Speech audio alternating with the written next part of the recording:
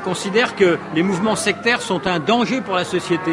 Et j'espère que cet opéra aidera à les combattre. Ce qui doit s'accomplir s'accomplira. Quelle est la condition?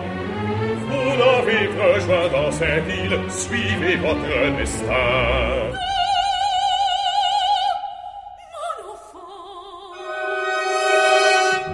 Le chanteur, c'est un pur sang.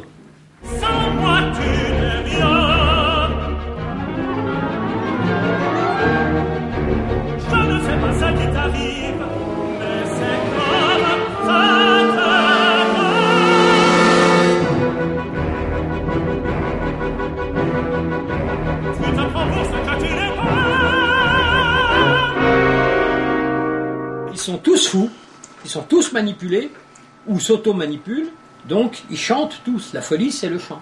Et le seul caractère qui n'est pas dingue parle. Mais pour, pour qu'il s'incorpore dans la structure, il parle avec une véritable partition écrite rythmiquement. Tu es le mal. Tu portes la ruine et la destruction. Tu ne vois pas que tu es fou. Death might be the real life, which is very tempting, of course.